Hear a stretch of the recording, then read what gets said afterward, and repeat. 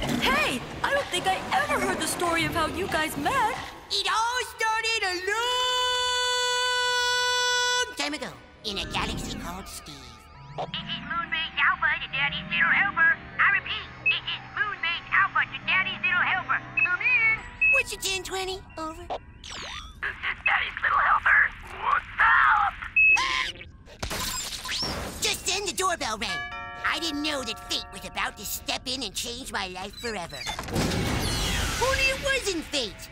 It was Private Major Mandy of Space Patrol. Good to see you, Rick. I bring good news from home on Earth. Billy, I may be a captive audience for your stupid story, but I won't let you make me look like that. Well, what are you gonna do about it? Sheesh! Anyway, Mandy walks in, and she's a big jerk. All right, listen up, ape face. I don't like you, and you don't like me. I like you. Shut up. We've got a special mission for you. Check out these spectrocosmetographer Onychus readings. Just as I thought. Our deep space moon radar has revealed the source of ultimate power. Get your bags packed, Major Private. We're going to Rome.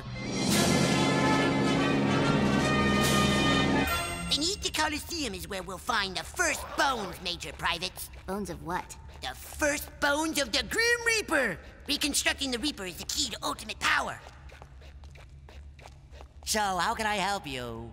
We're looking for the bones of the Reaper. That'll be six euros.